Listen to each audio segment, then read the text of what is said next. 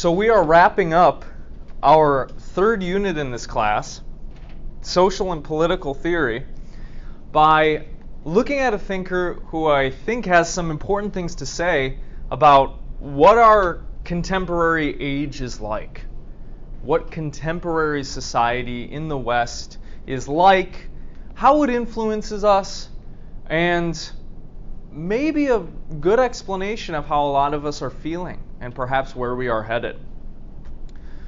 We're looking today at Erich Fromm. And to understand what Erich Fromm was trying to get at, and what he's trying to say in this piece, The Present Human Condition, I need to summarize for you again some of Marx's philosophy and then the critical theorists who came after him. So, Marx, whom I'm sure you have heard of, is was a really influential philosopher. Somebody who produced in his writings a lot of scathing critiques of capitalism and the capitalist society. Now, Marx's philosophy, at least in Das Kapital and in some of his other works, centered a lot around economic analysis of capitalism. And what Marx argued is that this capitalism thing ain't good for us. He thought that capitalism devalued workers, that it oppressed people, that it alienated the working class and others, not only from the labor process, but also the products of their own labor, and from themselves and other people, turning them essentially into commodities making them poorer in every sense of the word, both economically, but also perhaps spiritually, psychologically, with regards to their character as well. And the capitalist system forces people to contribute to the construction of a society that is going to further oppress them and push them down even more. Now, a lot of people didn't agree with Marx's historical and economic analyses. But there was a really influential school and movement that emerged in uh, Germany, the Weimar Republic in the 1920s, who really took to heart a lot of what Marx had to say. But they noticed something very strange. In his historical materialist view of history, what Marx did is he separated the different stages of human social and economic development into these phases. And we've gone through them before, but one of the claims that he made was that eventually these capitalist systems are going to kind of implode due to the tensions and oppressions and contradictions within them and what they produce in society. And Marx hypothesized that what we should see is all of these revolutions around the world where capitalist systems are entrenched because the workers would rise up, the proletariat would rise up, the working class, and overthrow the bourgeoisie, their oppressors. The problem was, according to the critical theorists, they weren't seeing these revolutions around the world. Sure, there were some revolutions, but it wasn't happening as quickly or as intensely as Marx predicted. And so they were left with a question why aren't the working class people overthrowing their oppressors?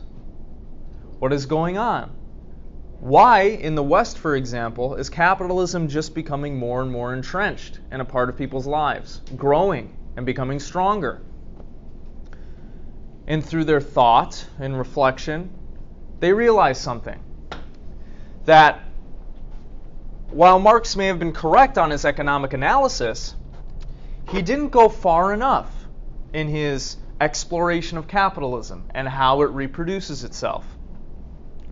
The critical theorists discovered and then philosophized about this idea that capitalism is recreated and supported and maintained in these places because of their cultures, because of the norms, the values, the terms, the categories, everything that has to do with culture was influencing these people to accept capitalism and then reproduce it through their actions. And so, what the critical theorists end up doing, those first generation ones in the 1920s, like Fromm, for example, and then the later critical theorists, took Marx's economic analysis and decided to apply it to the cultural sphere.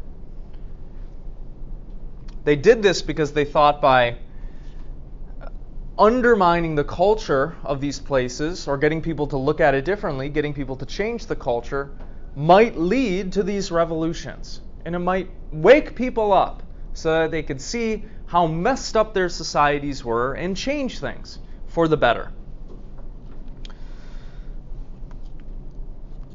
Fromm is a critical theorist as well. And so, what he's going to be doing in this piece today is he's going to try to describe for us what contemporary Western society looks like, at least, at least from the point of view of the 1950s. And he's going to rely heavily on some Marxist ideas and Marxist analysis to make these claims.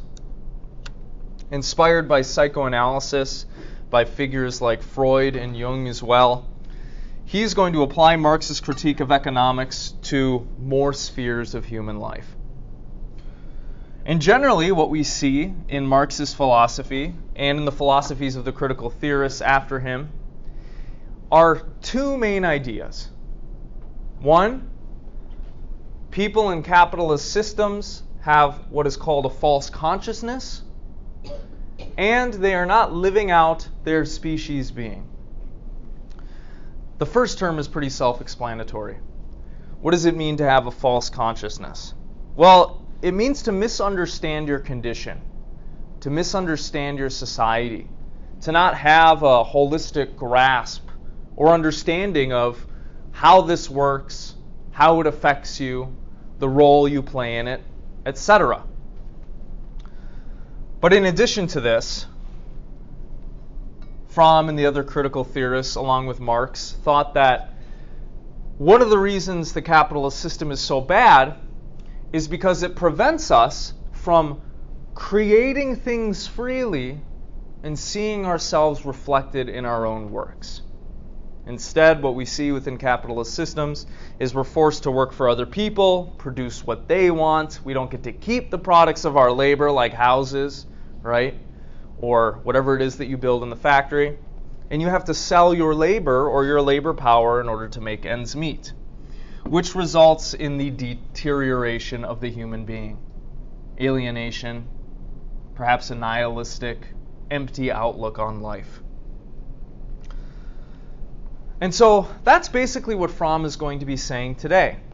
Although a big part of his analysis of Western society, as we'll see, is how entrenched consumerism has become and how this is really contributing in some sense, towards our unhappiness and the degradation of the moral human being. So hopefully that's a little good overview for you of what Fromm has, what's go- what's going on in this piece. I'm going to be reading a few pages from his book Escape from Freedom today, as well as an excerpt from the essay I asked y'all to read.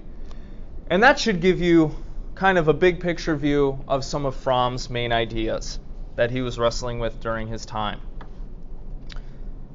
One of the main ideas that he's wrestling with in this book is the failure of the Enlightenment to live up to its promises, in some sense. Recall the Enlightenment, which we discussed in the first unit. The Enlightenment was all about applying reason and the scientific method to the world in order to understand it better, to make progress, to build things. And a lot of Enlightenment thinkers thought that if we just do this reason thing correctly, if we apply the scientific method appropriately, we'll be able to usher in something like a golden age for humanity. We'll be able to increase wealth, standards of living, make all this cool stuff, and make people happier. Now, in some sense, that happened, right? The West today, for example, is richer than it has ever been. Our standard of living in human history is better than it has ever been. But there are obviously problems, right? Yes, we've invented a whole bunch of new things that have made our lives easier, as we saw in the philosophy of Hannah Arendt. Computers and tables and tools and all these different things. Awesome advances in medical technology, which saves human life. Growing literacy rates. But there's still poverty, right? And inequality. You might even say discrimination and oppression, depending on what social group you are a part of. And so we don't live in a golden age, right? Things are not perfect. And if you dig a little bit deeper, you might start thinking also that the human being is more bankrupt now than they have ever been. Morally, existentially. There's this general feeling in our society today, it, Fromm thinks he noticed it in the 1900s, that people are losing the meaning and purpose of life. Nihilism is growing. We feel lost and confused, aimless, adrift in the sea of consumerist products, of these artificial needs and desires for things that don't really help us. What seems to characterize your generation is a lot of cynicism and lack of hope about your own future. And this isn't, you know, new, but I think it is a testament to the kinds of general feelings and ideas that people are having nowadays. Not only about whether or not they're going to be able to succeed, but about whether they feel their life is actually fulfilling, whether or not they're happy. And there are a bunch of different reasons for why there is this growing nihilism, malaise, unhappiness, addiction, etc. But one of the things that Fromm hones in on in this book is liberation that we've experienced from some of those bonds and meta narratives that in the past grounded human life. While in Western society we have seen growing political freedom, right? We can basically live our lives the way that we want. We have free speech, freedom of religion. We're not forced to do many things. While there has been growing freedom in this domain, Fromm also argues that there has been that has gone along with a certain kind of alienation and purposelessness. This is something that we've also experienced. And so, what he discusses in this book is in Western society, as freedom to do things has grown, freedom from the bonds that used to provide us purpose and security, and those mythologies and stories that provided meaning in human life has also grown. And he discusses this on pages 50 to 53 here. He says, Freedom from is not identical with positive freedom, freedom to. The emergence of man from nature is a long drawn out process. To a large extent, he remains tied to the world from which he emerged. He remains part of nature. The soil he lives on, the sun and moon and stars, the trees and flowers, the animals, and the group of people with whom he is connected by the ties of blood. Their family, right? Primitive religions bear testimony to man's feeling of oneness with nature. Animate and inanimate nature are part of his human world. Or, as one may also put it, he is still part of the natural world. These primary ties block his full human development. They stand in the way of the development of his reason and his critical capacities. They let him recognize himself and others only through the medium of his or their participation in a clan, a social or religious community, and not as human beings. In other words, they block his development as a free, self determining, productive individual. But although this is one aspect, this is not the only one. The, this identity with nature, clan, religion, gives the individual security. He belongs to, he is rooted in, a structuralized whole in which he has an unquestionable place. He may suffer from hunger or suppression, but he does not suffer from the worst of all pains complete aloneness and doubt. We see that the process of growing human freedom has the same dialectic character that we have noticed in the process of individual growth. On the one hand, it is a process of growing strength and integration, mastery of nature, growing power of human reason, and growing solidarity with other human beings. But on the other hand, this growing individuation means growing isolation, insecurity, and thereby growing doubt concerning one's own role in the universe, the meaning of one's life, and with all that, a growing feeling of one's own powerlessness and insignificance as an individual. If the process of the development of mankind had been harmonious, if it had followed a certain plan, then both sides of this development, the growing strength and the growing individuation of the single person, would have been exactly balanced. As it is, the history of mankind is one of conflict and strife. Each step in the direction of growing individuation threatened people with new insecurities. Primary bonds once severed cannot be mended. Once paradise is lost, man cannot return to it.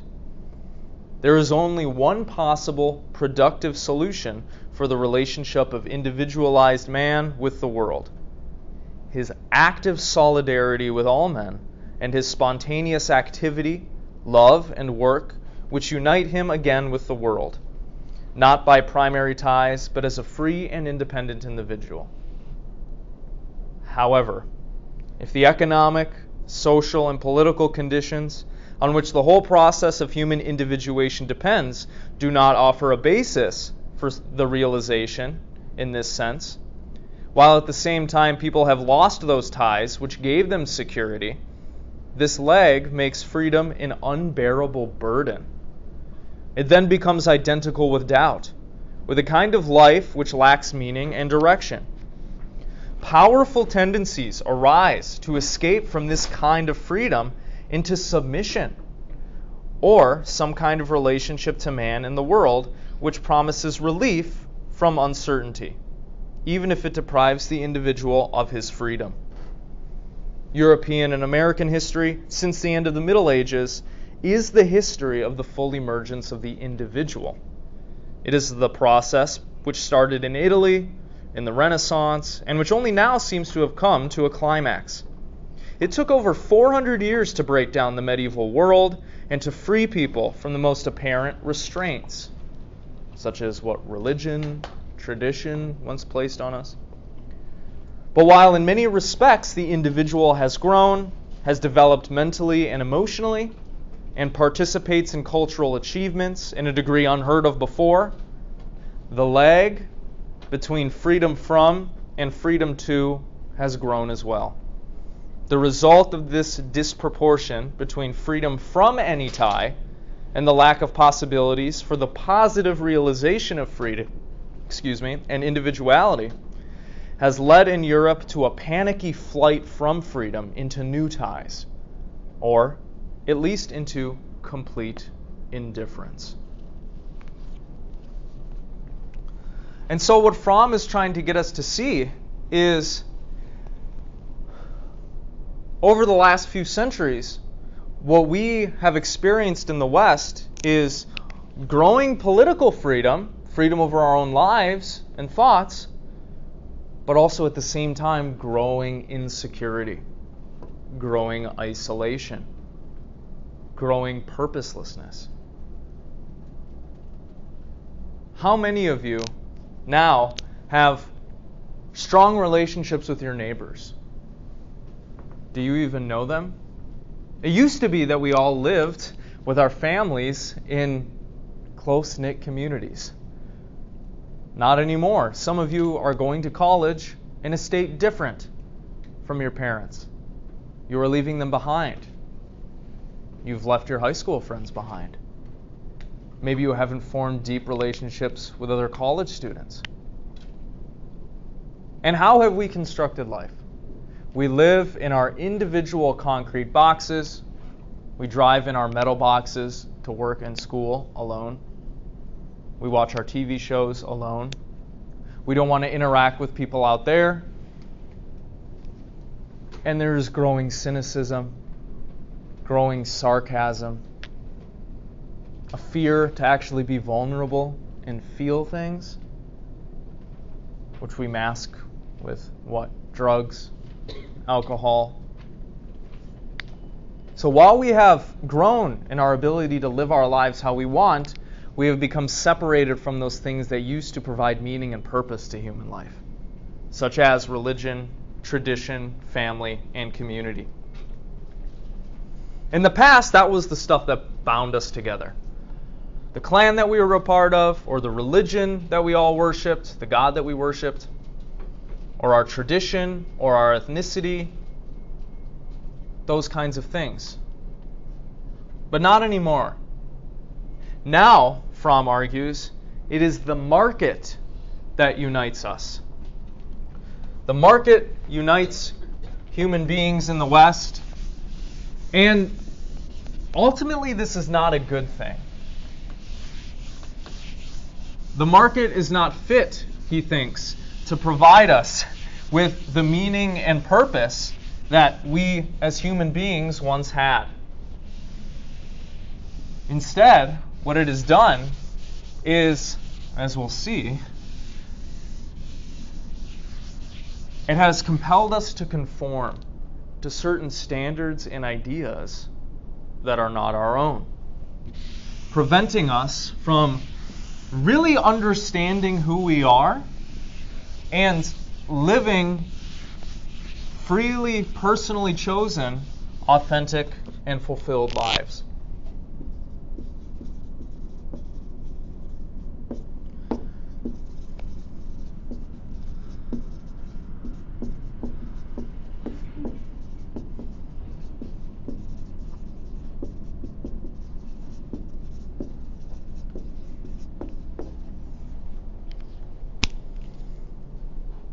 We no longer are bound together so strongly by a certain tradition, religion, family, or the state.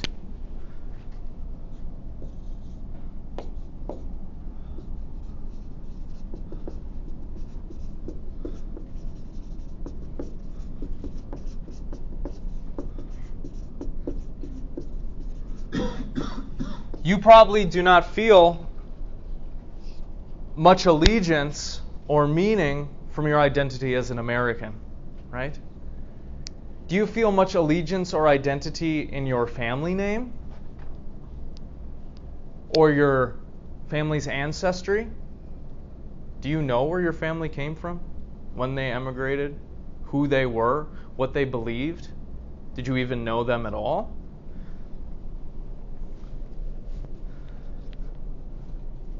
Throughout the centuries, thus, Fromm is going to say, we have lost touch with these things. We don't understand our past. We aren't bound to one another deeply and meaningfully like we used to be.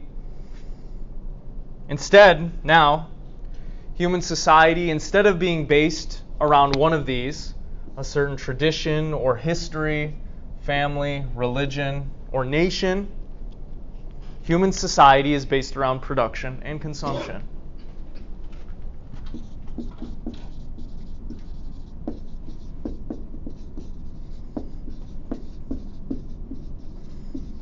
Isn't this what defines our lives now? We mark ourselves off from others by the things that we consume. Oh, you're a Star Wars fan? I was a Degrassi fan. Oh, you're an Avengers fan? I like metal music. Oh, you like Taylor's version? No, I prefer Lil Nas X. Right? Now, the way that we understand ourselves and others, and the way that we individuate ourselves, is through consumption of things. Whether that is food, drink, digital media, music, movies, TV shows, whatever. These things are what our, our identities are rooted in. And that is not good. This is not a good way to live, Fromm thinks. Now, he thinks materialism governs our lives. And in some sense, our desires, our beliefs, our very wills are oriented towards things that we did not personally choose and which we probably don't personally really want if we took the time to actually reflect on it.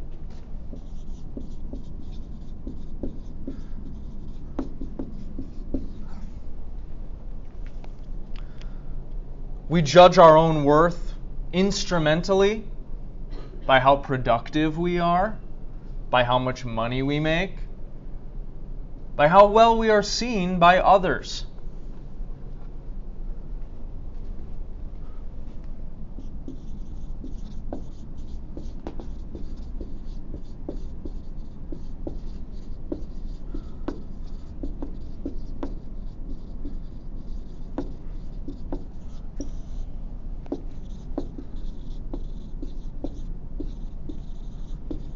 Do any of you feel upset with yourselves because you're not as productive with homework as you should be a certain night? Because you don't make as much money as your friend? Because you're not pumping out kids like some of your high school friends? Maybe this is a millennial thing. In any case, what Fromm is trying to get us to see is that what our identities are rooted in are not the things of our ancestors, but in the material stuff of our day. And ultimately, this is leading us to unhappiness and unfulfillment.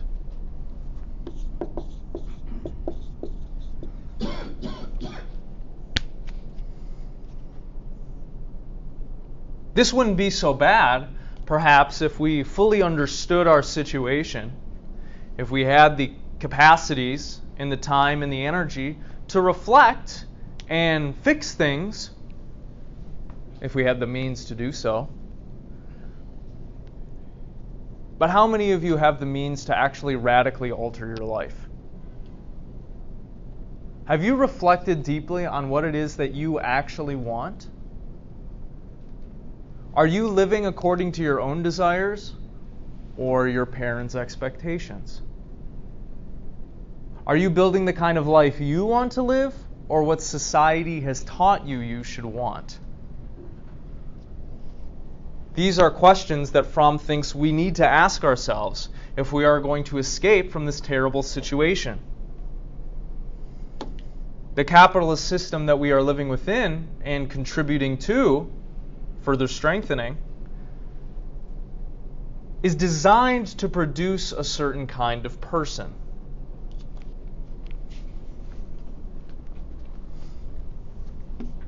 And so too are our large mass scale processes of production and consumption.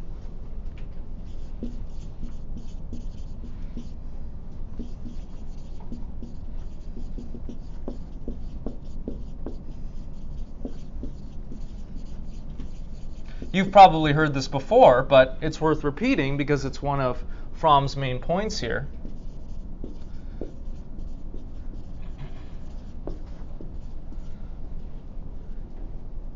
Does the society we live in produce people who are free thinkers, people who are independent from others, people who have original thoughts and feelings? That are following their own life paths? Fromm is going to say no.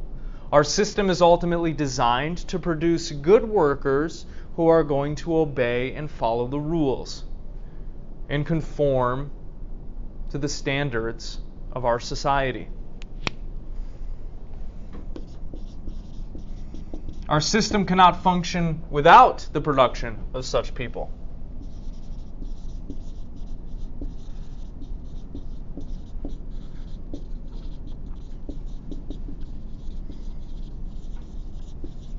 And so he says on page 276 in Escape from Freedom. What has been said about the lack of originality in feeling and thinking holds true also of the act of willing in our society. To recognize this is particularly difficult. Modern man seems, if anything, to have too many wishes and his only problem seems to be that although he knows what he wants, he cannot have it. All our energy is spent for the purpose of getting what we want. And most people never question the premise of that activity that they know their true wants. They do not stop to think whether the aims they are pursuing are something they themselves want. In school, they want to have good marks. As adults, they want to be more and more successful, to make more money, to have more prestige, to buy a better car, to go places, and so on. Yet when they do stop to think in the midst of all this frantic activity, this question may come to their minds. If I do get this new job, if I get this better car, if I can take this trip, what then? What is the use of it all? Is it really I who wants all of this? Am I not running after some goal which is supposed to make me happy and which eludes me as soon as I have reached it? These questions, when they arise, are frightening, for they question the very basis on which man's whole activity is built his knowledge of what he wants. People tend, therefore, to get rid of them as soon as possible of these disturbing thoughts. They feel that they have been bothered by these questions because they were tired or depressed, and they go on in the pursuit of the aims which they believe are their own. Yet all this bespeaks a dim realization of the truth the truth that modern man lives under the illusion that he knows what he wants while he actually wants what he is supposed to want. In order to accept this, it is necessary to realize that to know what one really wants is not comparatively easy, as most people think, but one of the most difficult problems any human being has to solve. It is a task we frantically try to avoid by accepting ready made goals as though they were our own. Modern man is ready to take great risks when he tries to achieve his aims, which are supposed to be his, but he is deeply afraid of taking the risk and the responsibility of giving himself his own aims. Intense activity is often mistaken for evidence of self determined action although we know that it may well be no more spontaneous than the behavior of an actor or a person hypnotized. When the general plot of the play is handed out, each actor can act vigorously the role he is assigned and even make up his lines and certain details of the action by himself. Yet he is only playing a role that has been handed over to him. The particular difficulty in recognizing to what extent our wishes and our own thoughts and feelings as well are not really our own, but put into us from the outside, is closely linked up with the problem of authority and freedom. In the course of modern history, the authority of the church has been replaced by that of the state, that of the state by that of conscience. And in our era, conscience has been replaced by the anonymous authority of common sense and public opinion as instruments of conformity. Because we have freed ourselves of the older overt forms of authority, we do not see that we have become the prey of a new kind of authority. We have become automatons who live under the illusion of being self willing individuals. This illusion helps the individual to remain unaware of his insecurity.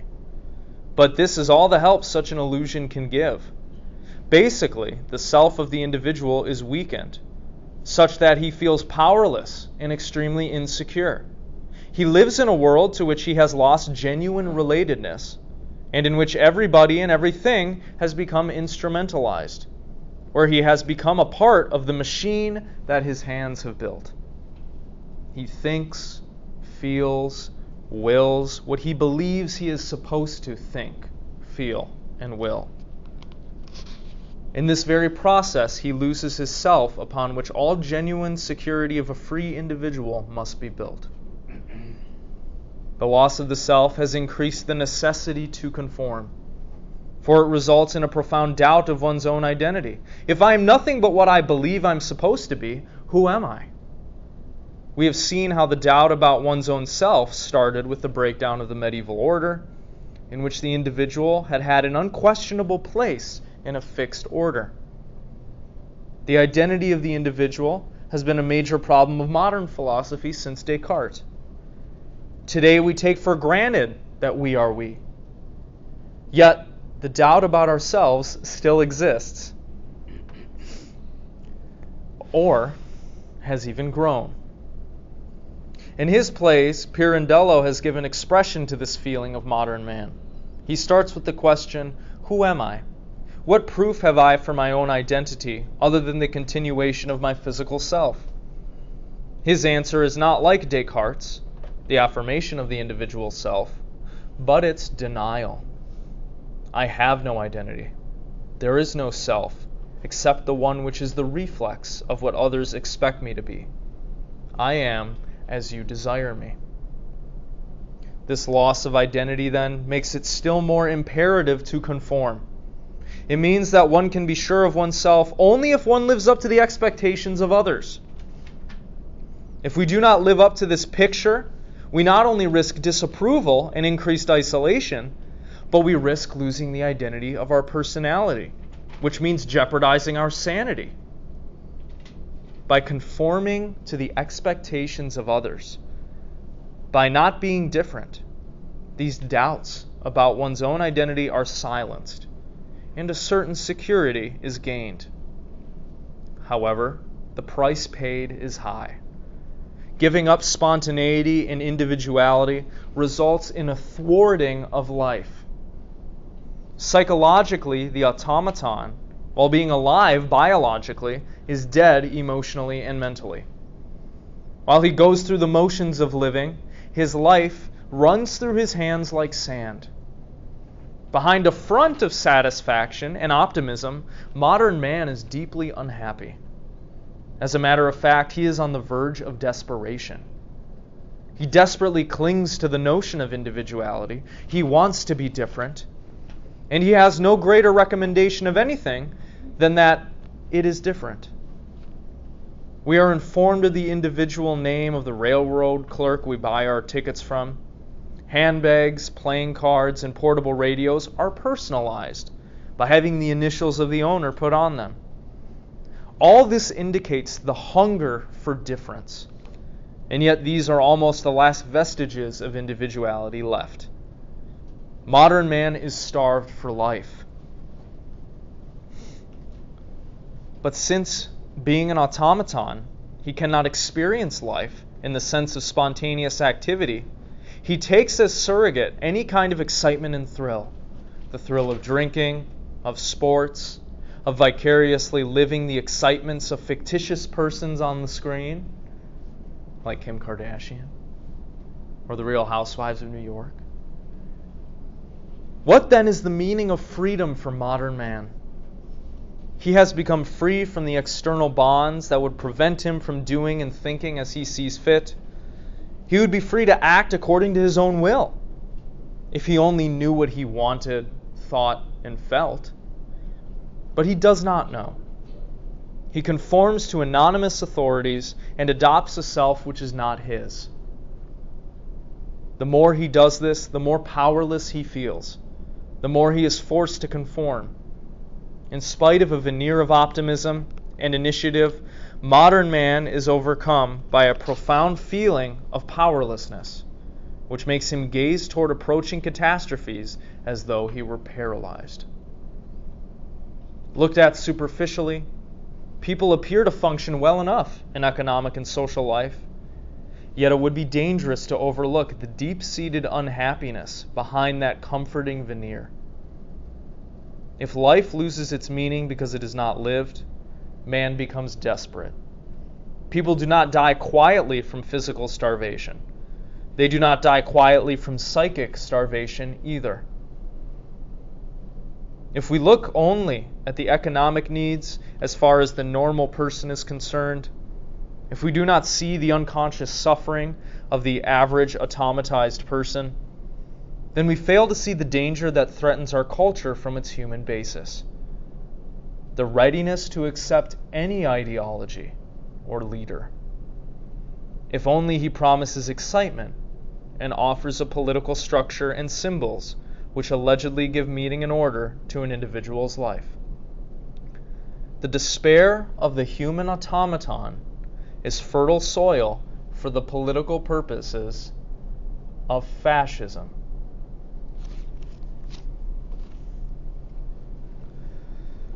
And thus we live in an order, Fromm thinks, that produces conformity.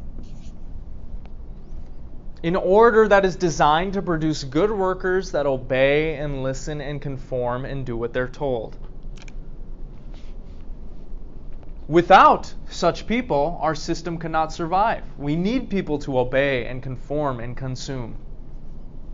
And this is what we do, isn't it?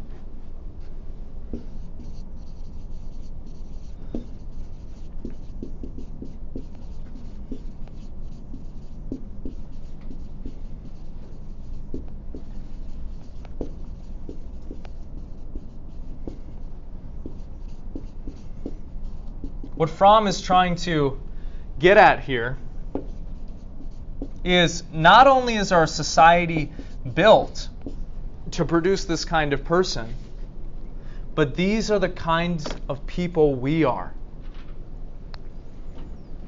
How often do you reflect on what you are told?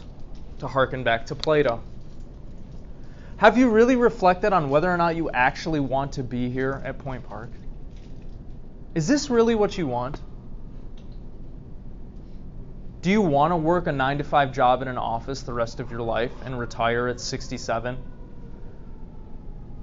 Or do you want to live a different life? Do you actually want to look at your iPhone for three hours a day? Have you thought about that? So, not only do we live in a society that is designed to produce automatons, he says, people who obey, who don't think for themselves and reflect, who just consume.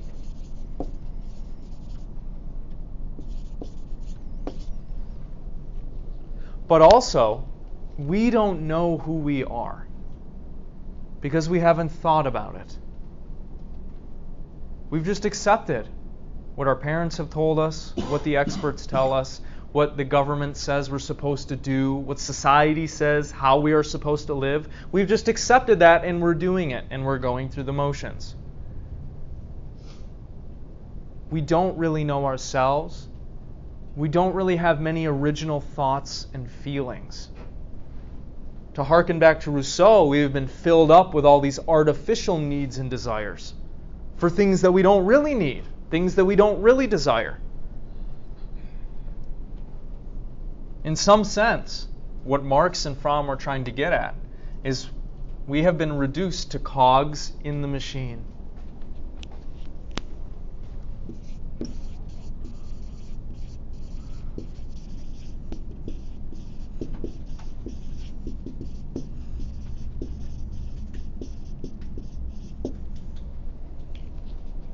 And what's dangerous about this situation is not just that we are unhappy and unfulfilled because of this stuff, but because we do feel insecure and lost. We don't feel like our lives have as much purpose or meaning as they should. He thinks we will gravitate towards any kind of order or ideology, even a fascistic one, if it can provide us with some sense of community and security, some kind of order among the chaos that is our lives.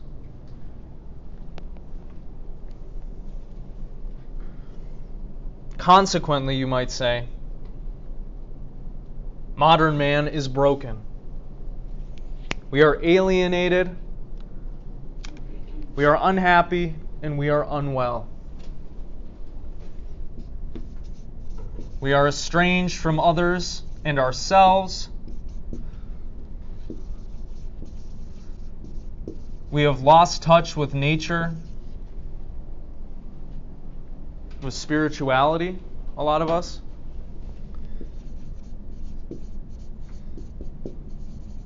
We are being conditioned to accept and live lives that are not good for us and that don't really bring us happiness and fulfillment.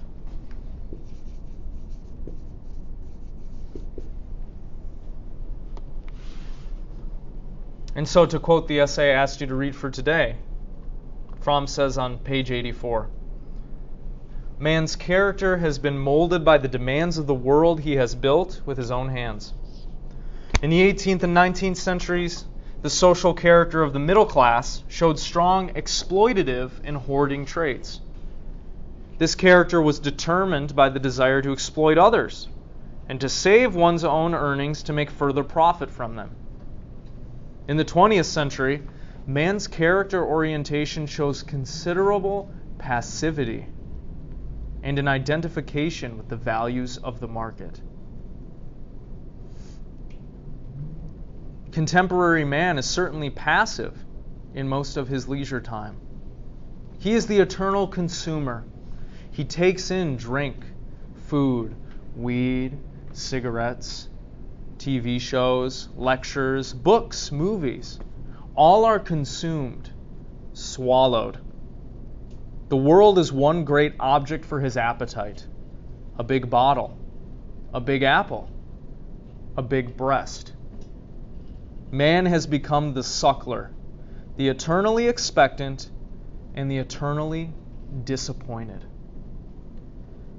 Insofar as modern man is not the consumer, he is the trader. Our economic system is centered in the function of the market as determining the value of all commodities and as the regulator of one's share in the social product. Neither force nor tradition, as in previous periods of history, nor fraud nor trickery govern man's activities. He is free to produce and sell. Market day is the judgment for the success of his efforts. Not only commodities are offered and sold on the market, labor has also become a commodity, sold on the labor market, under the same conditions of fair competition. But the market system has reached out further than the economic sphere. Man has transformed himself into a commodity and experiences his life as capital to be invested profitably. If he, if he succeeds in this, he is successful and his life has meaning. If not, he is a failure. His value lies in his saleability, not in his human qualities of love and reason, nor in his artistic capacities. Hence, his sense of his own value depends on extraneous factors his success, the judgment of others, the standards of society. Hence, he is dependent on these others, and his security lies in conformity, in never being more than two feet away from the herd. However, it is not only the market that determines modern man's character, Another factor closely related is the mode of industrial production. Enterprises become bigger and bigger. The number of people employed by these enterprises as workers or clerks grows incessantly. Ownership is separated from management, and the industrial giants are governed by a professional bureaucracy interested mainly in the smooth functioning and the expansion of their enterprise rather than in the personal greed for profit per se. What kind of man, then, does our society need in order to function smoothly? It needs men who cooperate easily and in large groups, who want to consume more and more, and whose tastes are standardized and can be easily influenced and anticipated. It needs people who feel free and independent, not subject to any authority or principle or conscience, yet willing to be commanded, to do what is expected, to fit into the social machine without friction. People who can be guided without force, led without leaders, be prompted without an aim, except the aim to be on the move, to function, to get ahead. This kind of man, modern industrialism has succeeded in producing. He is the automaton, the alienated man. He is alienated in the sense that his, own, his actions and his own forces have become estranged from him. They stand above him and against him, and rule him rather than being ruled by him. His life forces have shed themselves into things and institutions, and these things and institutions have become idols. They are experienced not as the result of man's own efforts, but as something apart from him, which he worships and to which he submits.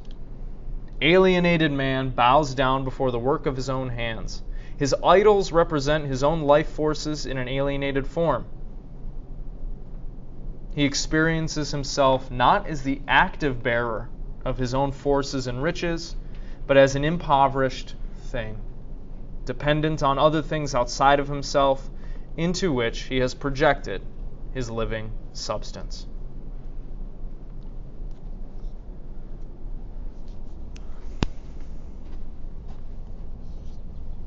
We feel free and independent, yet we are not Fromm thinks. We have been made to conform to these standards and ideas and expectations. And that is why we are unhappy. Because we have learned to find happiness only when we are appeasing others, and not when we are following our own desires. We consume, and yet we are disappointed our lives are not fulfilling because, well, we are living a life that we ultimately don't want to live. In some sense, this was unavoidable. We have been conditioned into thinking and acting this way since we were kids. But that doesn't mean that we have to stay in the state that we are in. We always have the capacity to reflect on where we are and make a decision or go, go in a new direction, right?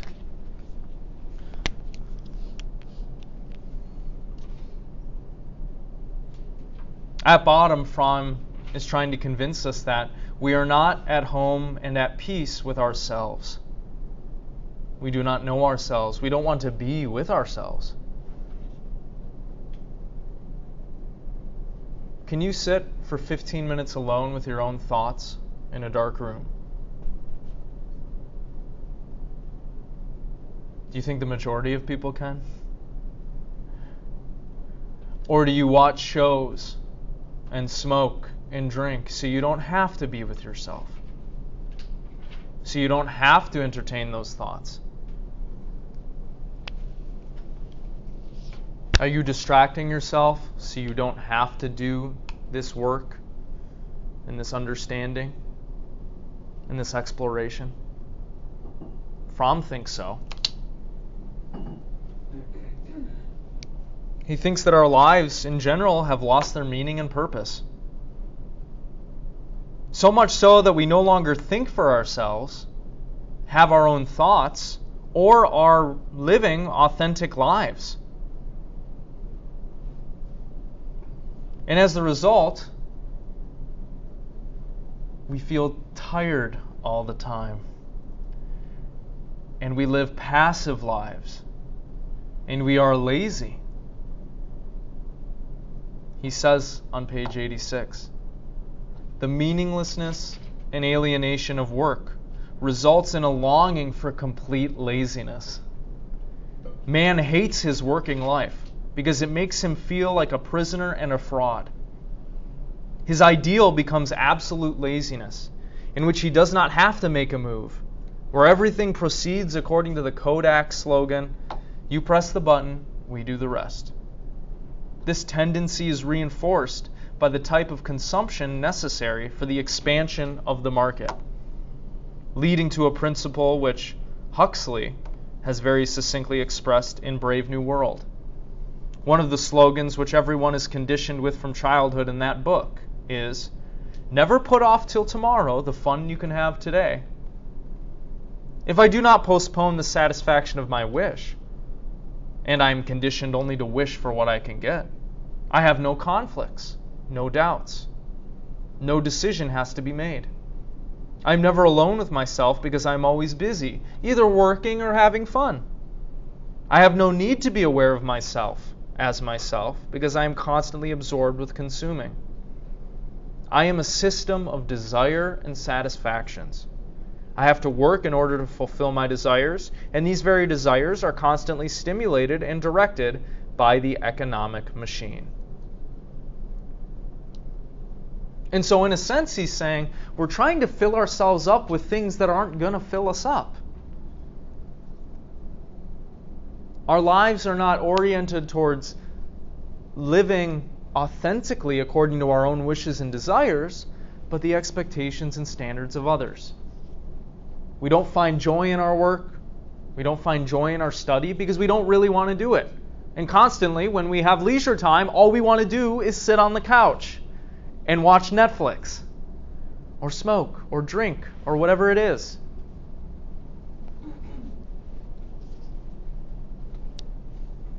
Our relationships have been impacted by this as well.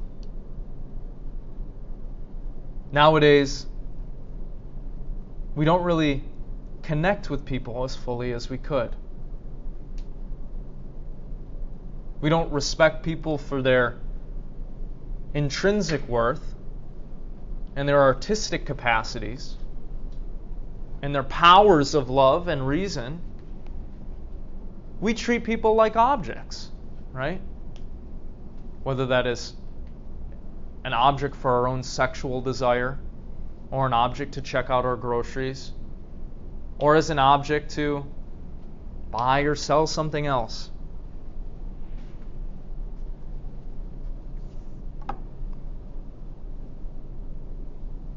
Our system is not constructed to produce the kind of individual that we will be at peace and secure with. One who is actually following their own wishes and desires and finds happiness within themselves rather than on external things like goods or what other people want from you or how they think and feel about you.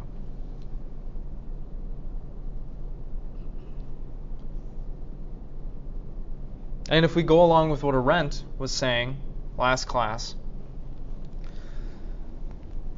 we now have all these technologies and powers and capacities that can change the world in these crazy ways.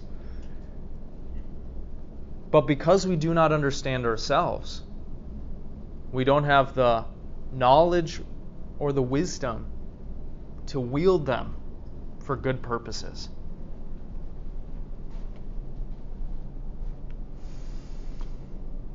And so things are pretty messed up for us. We're messed up. If we're going to change things, we need to take an honest look at our situation Fromm thinks.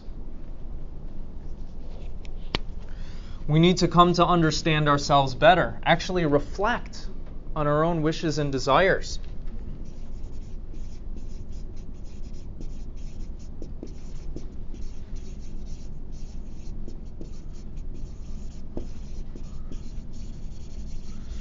We need to be alone with our own thoughts.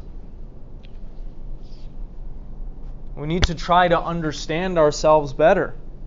Because if we don't, we're just going to be a puppet in some sense in somebody else's game, living according to their will and their desires. Whether that is your parents or your other family members, your friends, society at large, or the government or companies and other institutions. If we don't get a handle on what it is that we actually want, what we value, and who we are, we're just going to live according to somebody else's designs. And as you know, there are a lot of people out there who don't care about you at all. And so they probably don't have your interest at heart, right?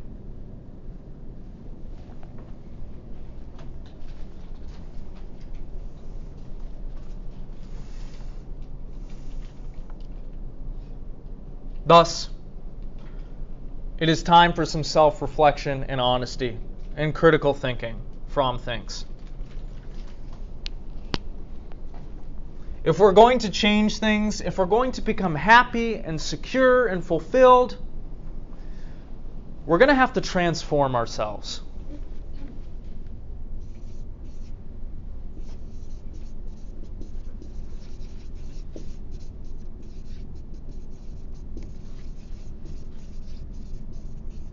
And consequently, because our system is designed to produce this in us, in a way,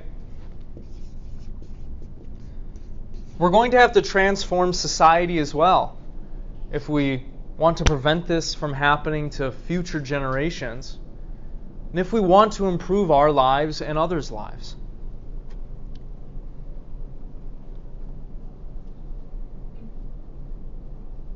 At the end of this essay, he provides a number of points about what is going to need to change in ourselves and in society in order to get us out of this mess, in order to further oppress and alienate us.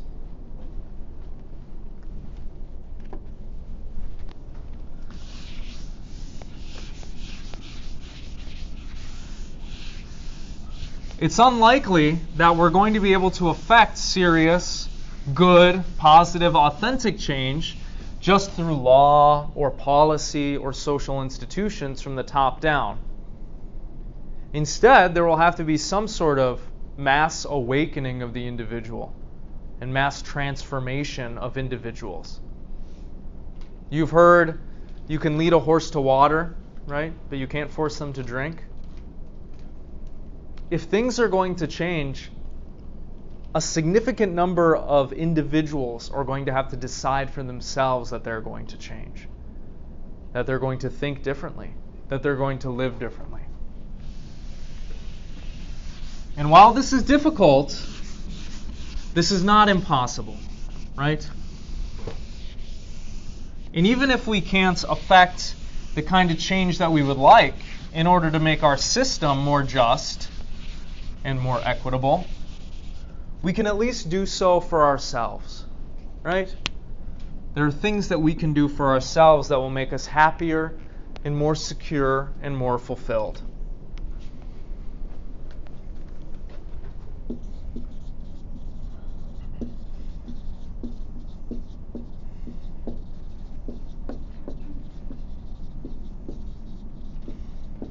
In nearly every sphere of life, we're going to have to take an honest look at ourselves and change what we are doing.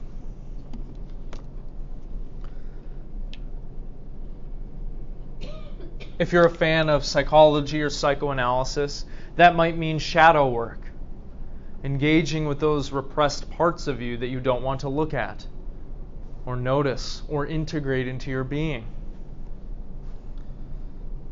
We're going to have to work on well, being honest with ourselves and others. Not withholding what we believe all the time because we're afraid of persecution or backlash, but honest self expression. We're going to have to change our priorities as well.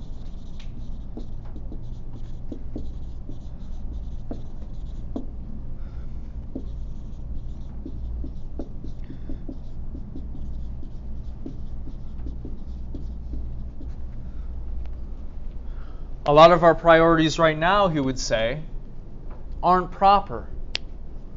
Because what are the things that our lives are oriented around? Well, consumption. And he's going to say that can't be top dog in your worldview if you want to be happy and secure and fulfilled.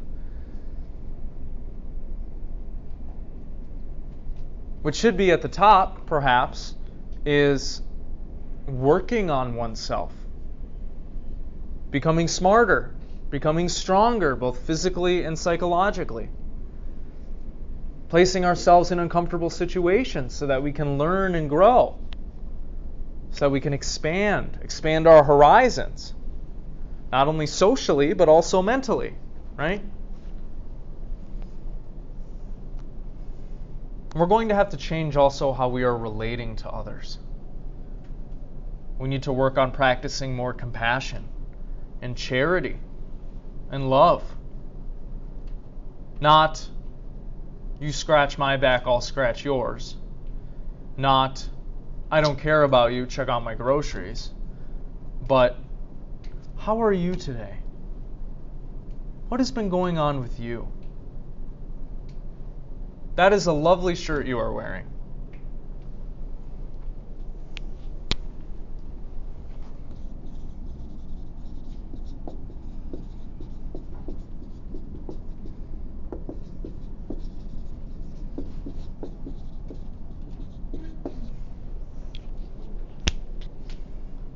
He says what might help also is a kind of revitalization of art and culture. Because the art and cultural stuff that we have now is standardized, mass produced, unfulfilling garbage. Just to give you a sense of my own personal thoughts and feelings, I think a lot of modern art sucks. It's like a five year old drew it. Like, what happened to those awesome, like, expressionist paintings and landscapes and all these different things, right?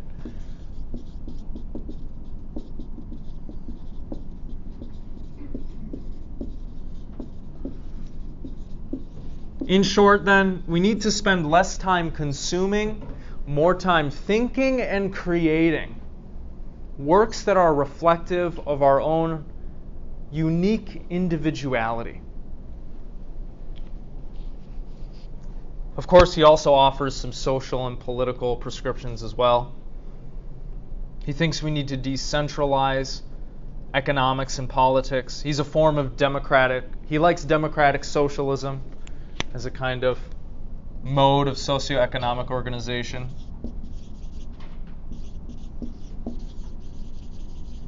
You don't have to go along with him and that, but he thinks that would be more fair. He thinks that would give people the opportunity to live the kind of lives that they want.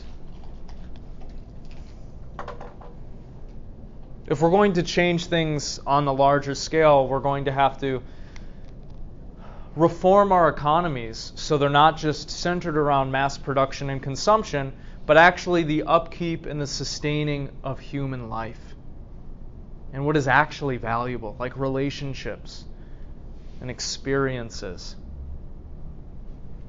love and hope, the real stuff of human life. In short, and this is rather uncontroversial, he advocates for the creation of a society based in freedom, fairness, love, and solidarity. Like every other hippie right? Although I wouldn't say he's a hippie. and that sounds good, right? Wouldn't it be great if we all loved each other, cared about each other, worked for each other's needs? Sounds good. I don't know.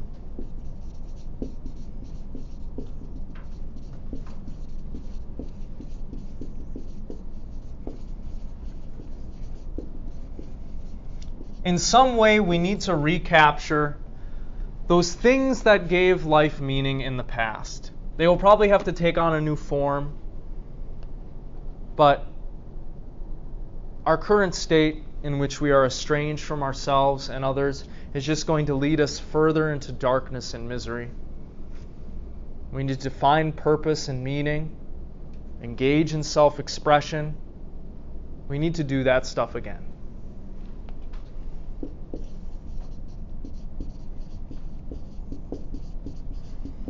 But it starts with each one of us individually.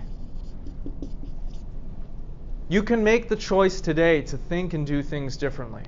It won't be easy. We all have these habits that we engage in, right? These perspectives that are entrenched in our own minds of the world.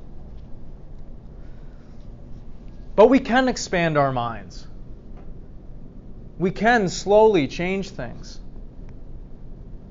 We can replace our bad habits with good ones slowly over time. It is not impossible. Yes, it will take work, it will take a lot of energy and effort, but Fromm is going to say it will be worth it for you because you will no longer feel lost and nihilistic and cynical and hopeless.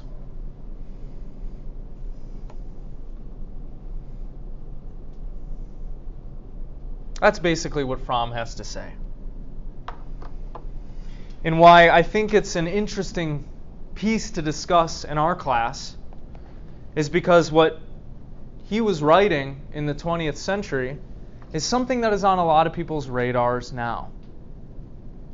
What is the big scare nowadays? That F word. Fascism. Everybody's worried about fascists, right? The right are a bunch of fascists, the left are a bunch of fascists. Well, Fromm said people would gravitate towards that when they don't have the meaning and the purpose and security in their life.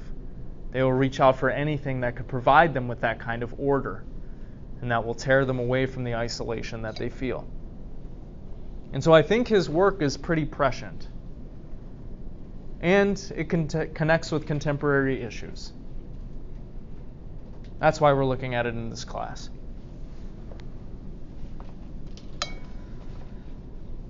So, what do y'all think?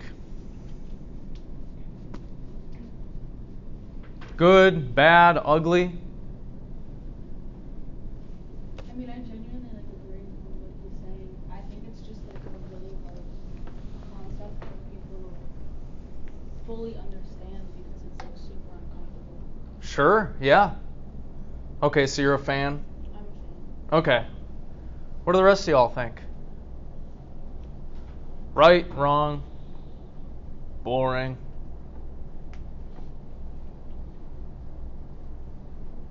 Mm-hmm.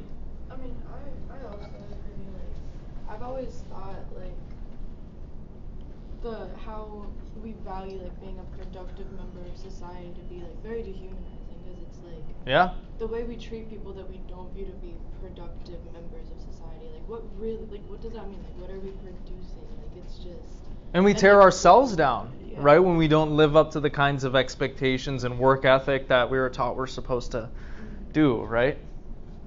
Yeah. Yeah, but go on. Sorry, I interrupted you. Oh, um, I think it's just like kind of like what he's saying. It's like it, we don't look at like how like I don't know. I see people out on the street and I'm like that is literally someone's like son, daughter, like Mm-hmm.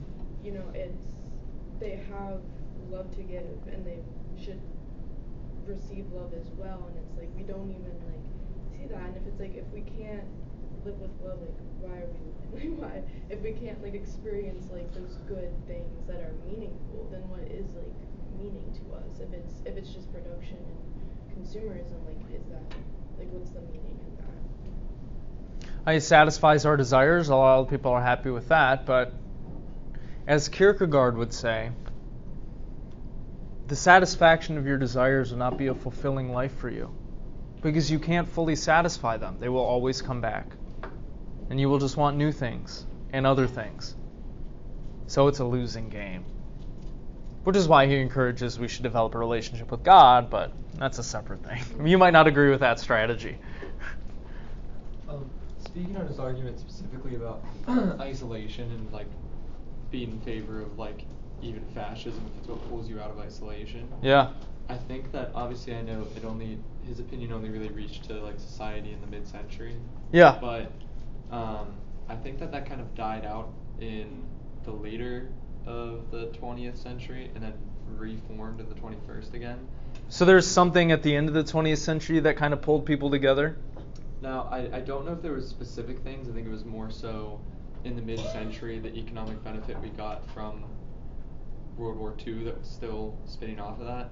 I think created a better life of luxury for a lot of the middle class. Yeah. That made people make different connections and find joy and happiness in the things that they were able to do with more wealth Sure. but I think it's most seen in specifically in the mid-century, like fraternal organizations and frats and HOAs were really, really, really popular, and then they slowly died out towards the end of the 20th century, and then so like I'll say late 80s, early 90s, and then in the 21st century, which I think also might be a societal and cultural result of partially 9/11. Um, And perhaps those communities dissolving, right? Yeah. Those spaces and opportunities for people to come together and you and know. I think they reformed. Like we even see that it's really popular right now with, I mean, fraternities and sororities have always been popular, but I think fraternal organizations, supper clubs, things like that, they're all kind of slowly coming back Mm. into style because people are able to see their isolation and reform around things that might be problematic, but they don't really care because they have a group that is their group. Right. That provides them with certain security, right? Makes it so that they don't feel so alone. Yeah. Yeah. Yeah, great.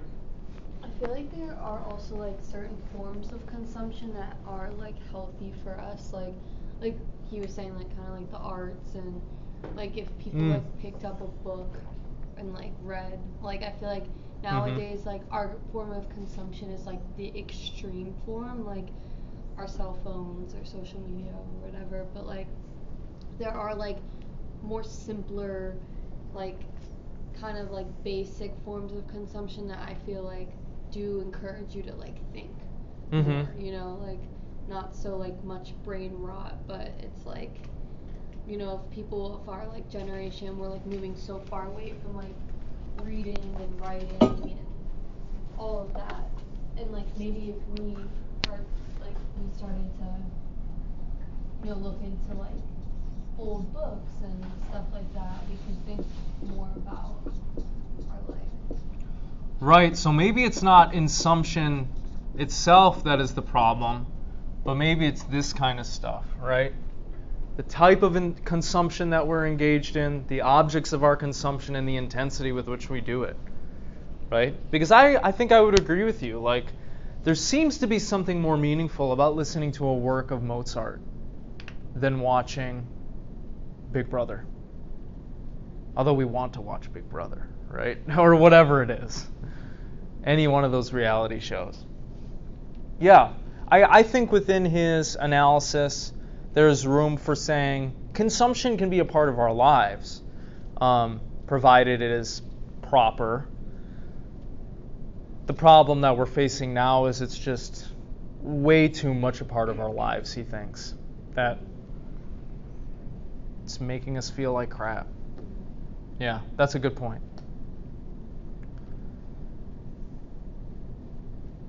Any other thoughts? I mean, something, um, like, I've always kind of gone back to when, like, talking about, like, consumerism, like, what it means to, like, feel, like, live with, like, goodness, sort of like the Free Man's Worship. I've, like, been obsessed with that. But, Mm-hmm. um, Russell's piece, right? yeah.